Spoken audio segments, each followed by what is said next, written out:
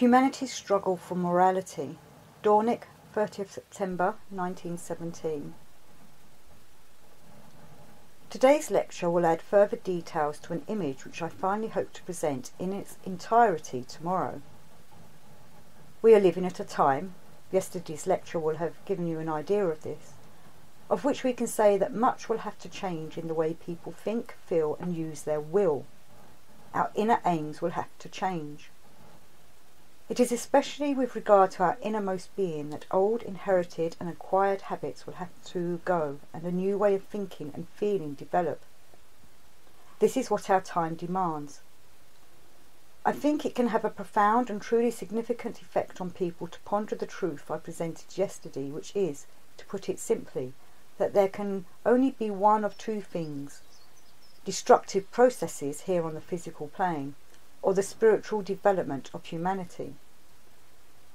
Just think what it means that, knowing this truth, we shall be compelled to feel socially at one with the dead, the departed. Our inner response to present events on this physical plane is one of deep pain, and it is right this should be so.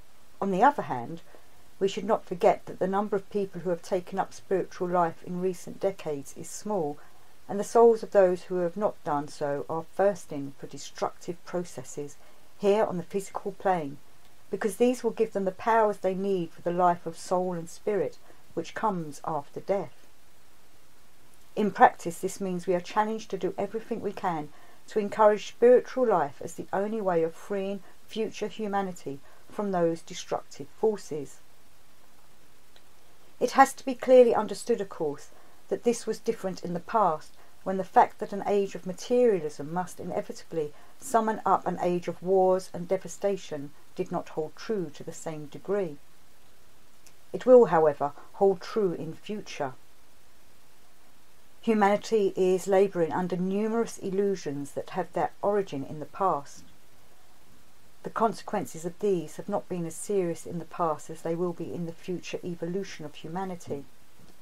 I think it is fair to say that, generally speaking, human souls are still very much asleep at the present time and fail to notice many of the tremendous changes now taking place. Sometimes, however, some of this comes through at an instinctive level, and individuals are then aware of the great riddles of the age. However, many are not fully active inwardly and therefore not yet able to experience these riddles in their full depth. Taking note of the turbulent and destructive events of today, some individuals are becoming aware of one such riddle. Yet they are in many respects quite unable to find the answers. The riddle I'm speaking of is the discrepancy between intellectual and moral development in human evolution. Strangely enough, recent developments in materialistic thinking have led none other than the Darwinists to this conclusion. Haeckel too has commented on this effect in his Welträtsel. Now in these times of war it can be seen again and again that this imbalance between intellectual and moral life in human evolution is beginning to puzzle people. They say to themselves, quite rightly, that the life of the intellect, the rational mind, has made tremendous advances. This is what many people call the realm of science today. It provides the basis for the modern materialistic view. Consider the tremendous advances made as the laws of nature have been penetrated, studied, and finally used to build all kinds of instruments, most recently especially the instruments for murder. People will also begin to consider other things in the light of this science of theirs. They will analyse foods for their constituents and manufacture chemical foods never realising that chemical foods are not the same as those provided by nature, even if they do have the same constituents. Intellectual, or we may also say scientific development, has shown an upward trend. Moral development has not progressed to the same extent. Surely the present world catastrophe could not have arisen or taken the course it has taken if moral development had kept pace with intellectual development. It would be right to say that because moral development has not progressed, intellectual development has assumed something of an amoral character, and has in many respects become downright destructive. Many people are beginning to notice that the moral development has not been keeping pace with the intellectual development of humanity today. However, no one asks at the present time that issues like these should be gone into sufficiently deeply so that they may serve a truly human evolution.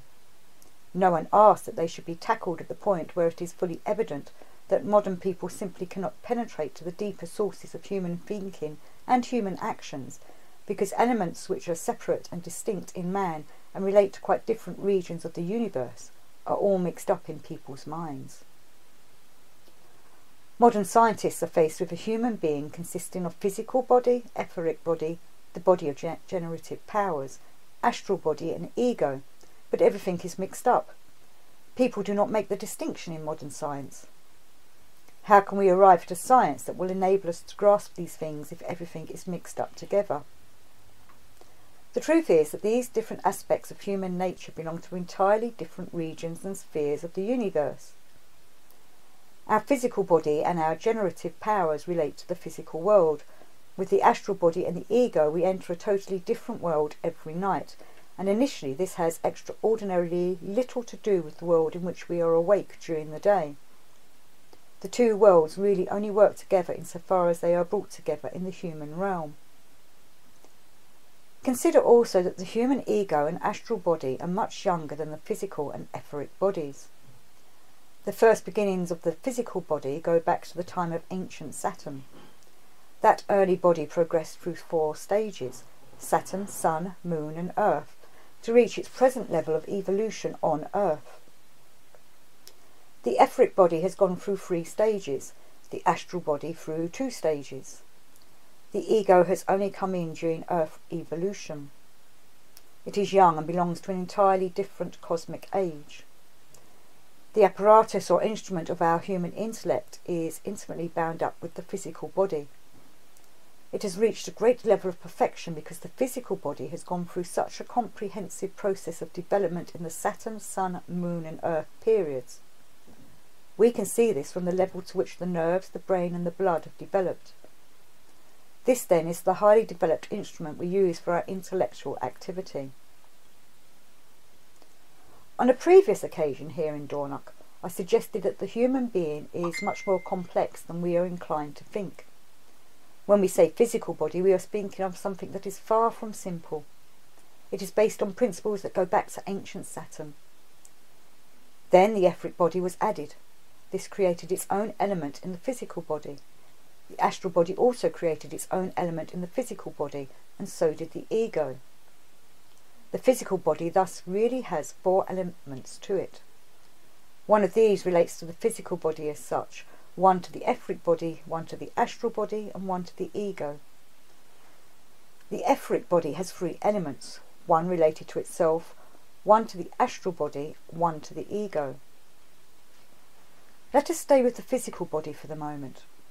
We find that during the night when we are asleep, the element of the physical body relating to the physical body continues in the usual way. The element relating to the etheric body can also continue, for the etheric body stays with the physical body. But what happens to the element relating to the astral body, which is organised to meet the needs of an astral body that wants to go outside? and with the element relating to an ego which has also gone outside. During the night, these two elements, let us call them the astral physical body and the ego's physical body, are forsaken by the principles on which their whole organisation is based. The ego and the astral body are then outside the parts of the physical body to which they belong. For as long as we live between birth and death, we are really leaving something behind in bed every night which is not taken care of by the principle to which it relates. It clearly has to function differently during the night than it does during the day. I think you can see this. During the day, the astral body and the ego are active and aglow in it. During the night, they are not. People do not inquire into these things today because everything has merged into one and become mixed up in their minds, as I have said.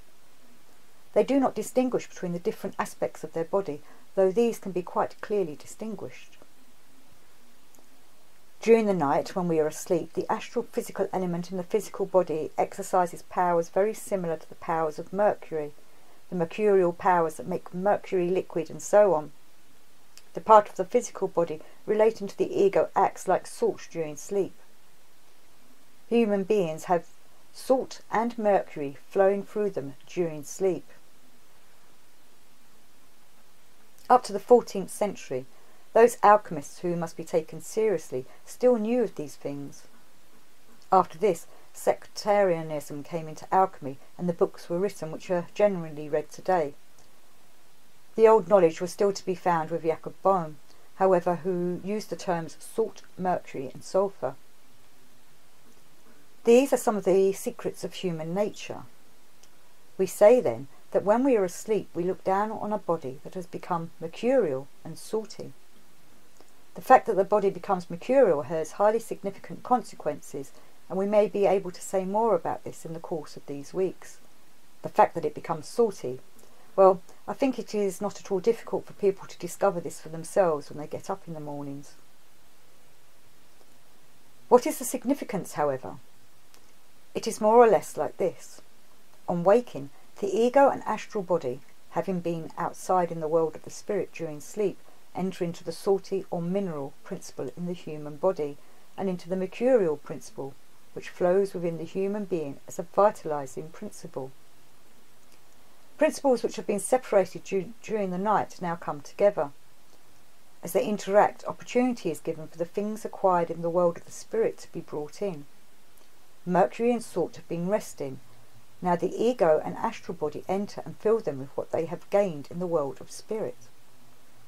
As a result, the physical body, the instrument which has evolved from ancient Saturn, is enriched still further. On the one hand, the physical body is the instrument we use for intellectual activity, and it is truly venerable and highly developed because it has evolved over such a long time. Yet, on the other hand, the process I've just described can bring the influence of the spiritual world to bear in the present time. As a result, human beings are now able to influence the instrument of the intellect from the world of the spirit, and intellectual thinking can play such a significant role in the present age. The world in which we are between going to sleep and waking up again does, however, have one peculiarity.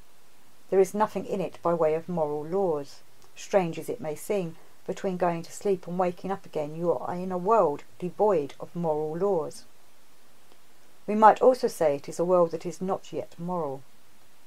When we wake up, the impulses we bring from this world may take hold of the physical body and the etheric body with regard to the intellect, but cannot in any way take hold of them in any moral sense.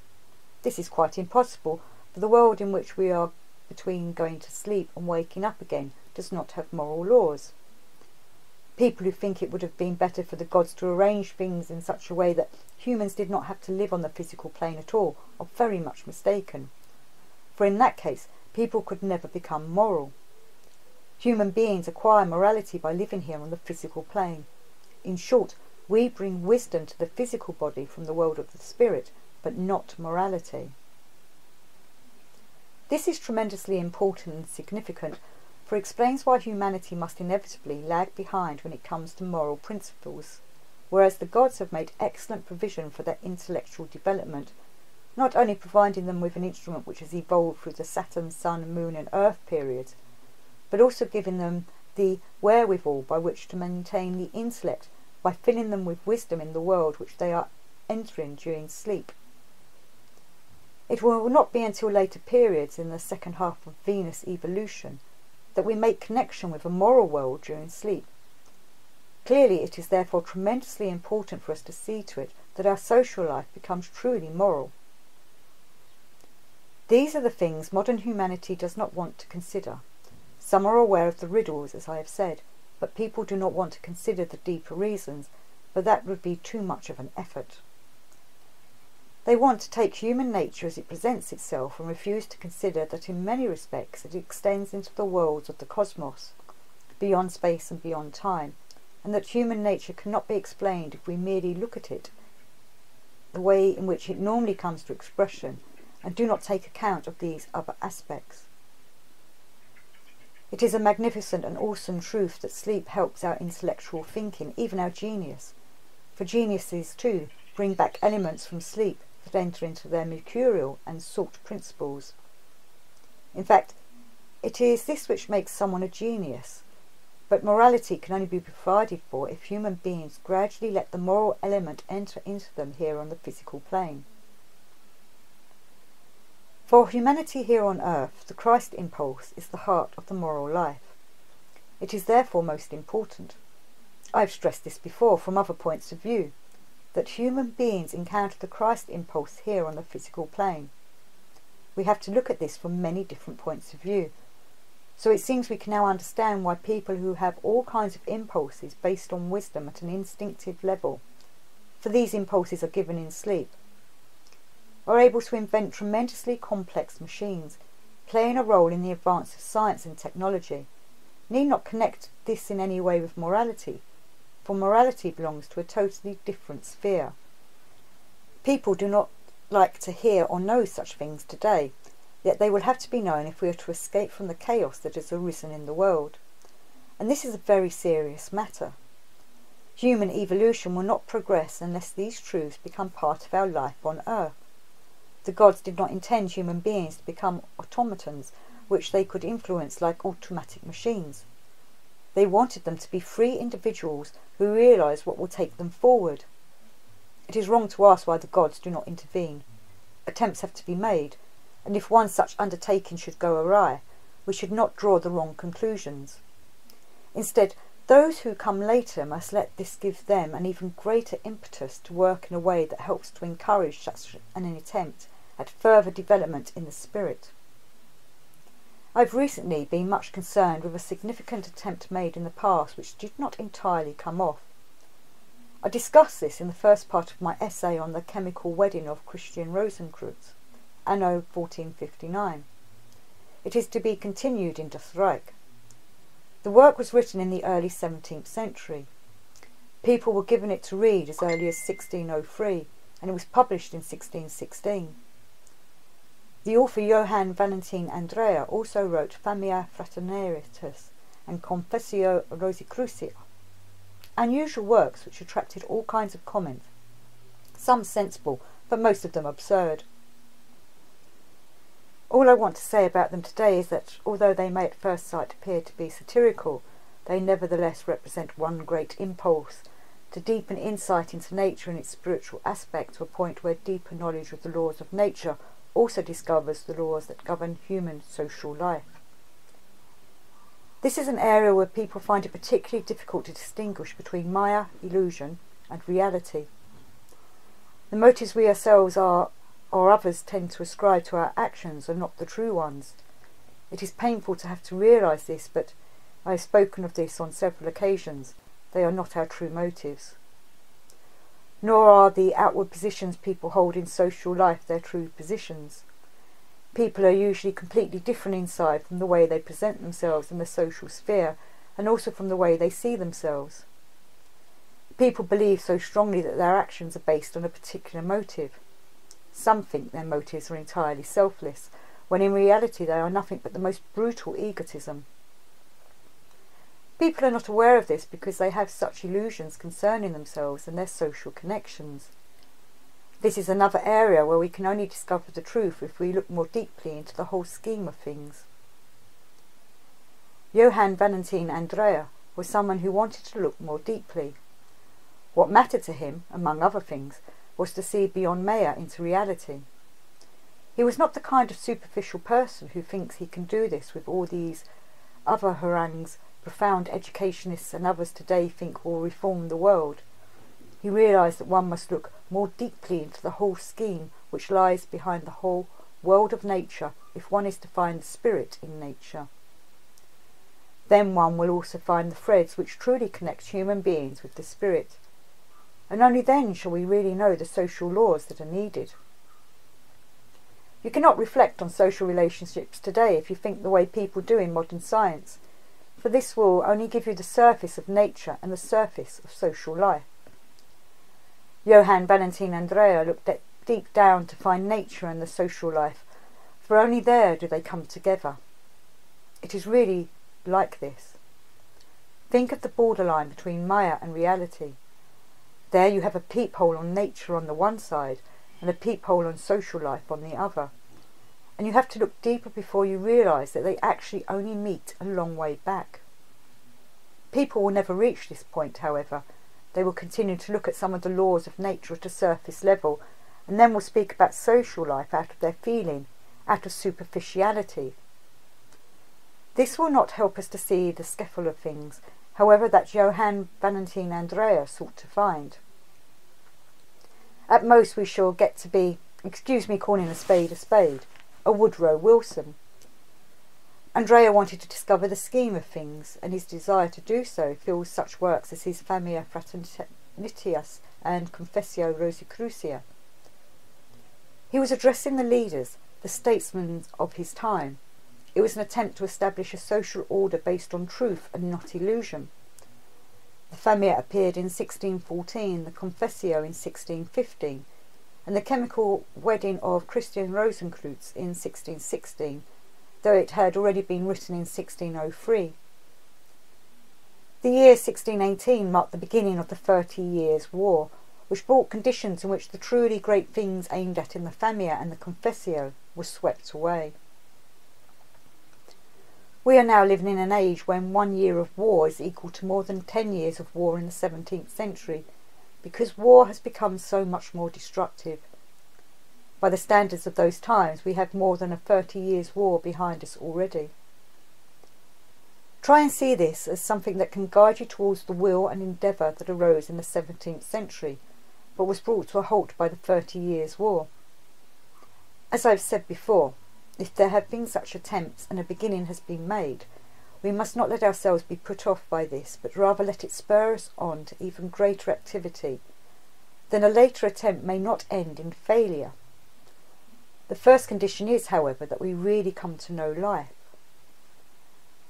I now want to relate this to matters I discussed with you last year and at the beginning of this year. I drew your attention to the strange course that the whole of human life and human evolution is taking. Individuals will gain in years, being one, two, three, four years older, and later 30, 35, 40, and so on years old. But the opposite is true for humanity as a whole. Humanity was old to begin with and is getting younger and younger. If we go back in time, for our present purposes, we need only go back as far as the watershed between Atlantean and post Atlantean life when the catastrophe happened on Atlantis. We come first of all to ancient Indian times. Conditions were very different then. Humanity as a whole remained capable of further development beyond the 50s. Today we are only capable of developing in such a way in childhood and up to a certain time of our youth, for only then is our physical development directly connected with the development of soul and spirit, and the two run parallel. This soon comes to an end, however. In ancient Indian times, development in soul and spirit continued to be dependent on physical development until well in the 50s. People went on developing the way a child develops, and this only came to an end when they were old men and women. This is the reason why people looked up with such humility to their old people. During the time of ancient Persia, people were no longer able to develop to such a high level, but only into their 40s and early 50s, and in Egyptian and Chaldean times, only into their 40s. In Greco Latin times, this kind of development went only as far as the 35th year. Then came a time, you will remember, the Gre- Greco-Latin age began in the 8th century before the mystery of Golgotha, when human beings were only capable of development up to their 33rd year. That was the time when the mystery of Golgotha took place. The age of humanity then matched the age at which Christ went through the mystery of Golgotha. After this, the human race got younger and younger. By the beginning of the fifth post-Atlantean age in the 15th century, Humanity was only able to develop up to the age of 28, with no further development after this. And today we have reached a point where people only reach the age of 27, if this is left to nature. In the past, human beings naturally remained capable of development into a ripe old age. Today, people must conclude such development as comes of its own accord and is tied to the physical body by the age of 27 unless they take up a spiritual impulse in their inner life and push on from within. People who do not take up anything spiritual remain 27 years old, even if they live to be 100. It means they have the characteristics of 27 year olds, and with people refusing to look for inner spiritual impulses, we now have a culture and a social life that is 27 years of age. We do not grow beyond the age of 27 in our outer social life. This age now rules humanity. If we go on like this, humanity will go down to 26, 25, and 24 years. Then, in the sixth post Atlantean age, to the 21st, and later to the 14th year. These things must be looked into, and they should not be taken pessimistically. Instead, they should give us the inner impulse to go towards the life of the spirit and set out on an inner quest to look for the elements nature is unable to provide. There is another point of view from which it is apparent that spiritual impulses are needed in civilization. The most characteristic people of our age, those who take the lead today, are people who do not get beyond their 27th year. The question is, what would really make someone a present day leader?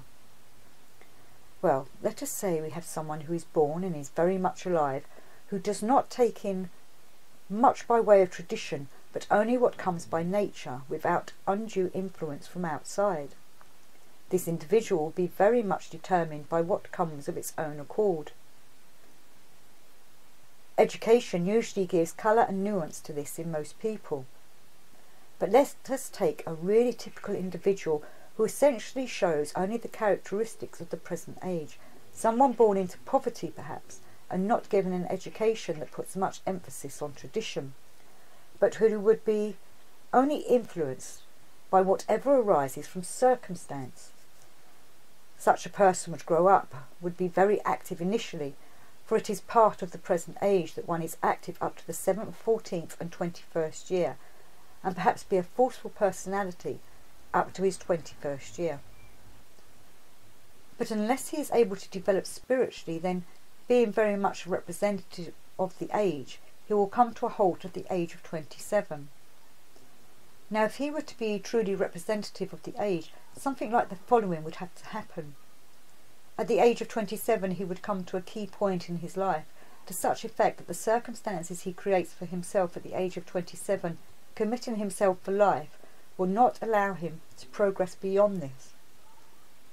In modern life, this could take the form, for instance, that such a person, a self-made man with tremendous energies and all kinds of impulses arising from the time itself, gets himself elected to the Parliament at the age of 27.